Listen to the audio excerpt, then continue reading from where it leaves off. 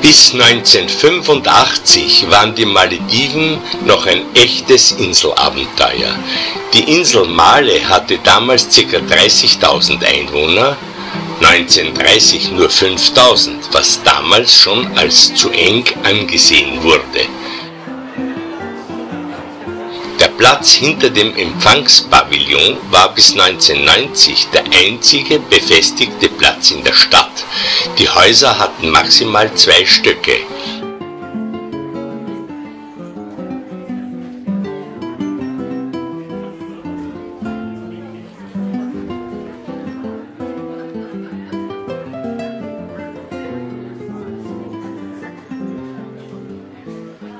Mit den ortsüblichen Holzdonis wurde man noch zu den wenigen Ferieninseln gebracht.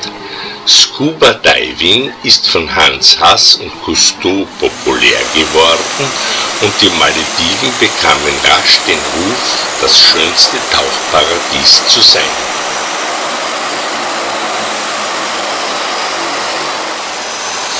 Die Donis wurden von Schnellbooten und bald von der mit Schwimmkufen ausgestatteten Twin Otter ersetzt, ein Stollflugzeug, das für die Malediven besonders geeignet war.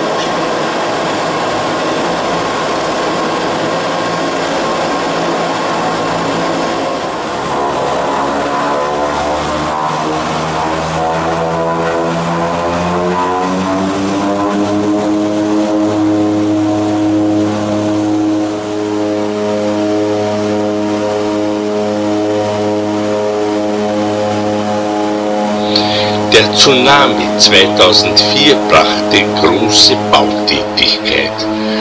Nach dem Motto Jetzt erst recht wurde die Flughafeninsel Hulul immer größer ausgebaut.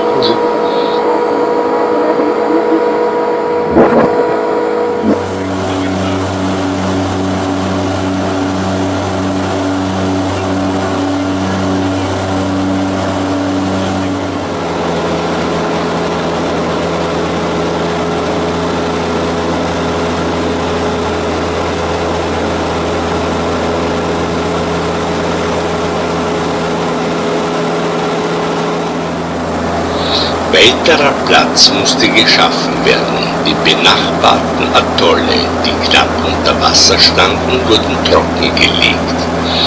Vier künstliche Wohninseln wurden geschaffen. Hulul Malé, Vilingili, Ulhifalu und Tilafushi.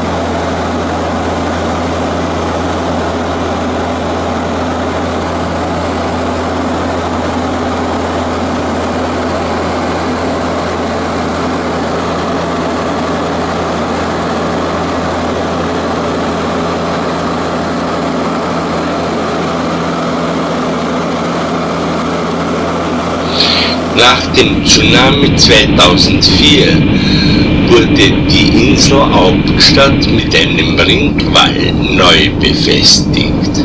Malé, die Hauptstadt der 800 Kilometer langen Inselrepublik, braucht nun Platz für derzeit 160.000 Menschen.